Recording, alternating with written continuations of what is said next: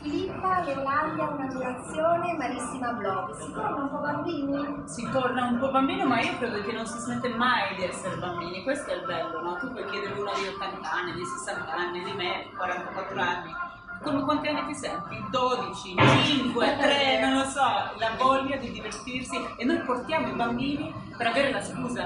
È Invece vero. vogliamo divertirci noi. È verissimo. Sorridere sempre così. Cosa ci dobbiamo aspettare oggi?